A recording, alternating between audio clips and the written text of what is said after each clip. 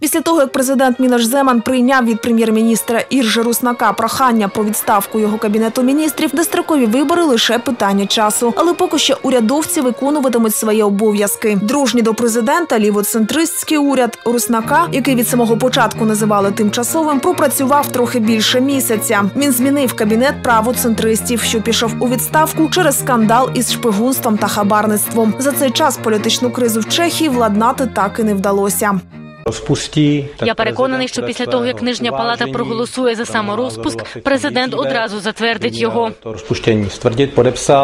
Вотум недовіри уряд отримав минулого тижня. Наступного чеські депутати голосуватимуть щодо саморозпуску парламенту, після чого буде призначено точну дату виборів. Аналітики кажуть, що президент Мілош Земан може обернути це на свою користь.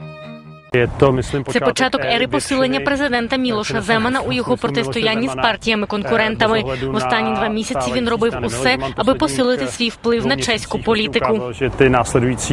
Eh, děje bude režírovat a řídit on sám. Очікують, що дочасні вибори у Чехії відбудуться вже у жовтні. Саме вони можуть вивести країну з політичної кризи. За опитуваннями ліві мають усі шанси повернути собі владу.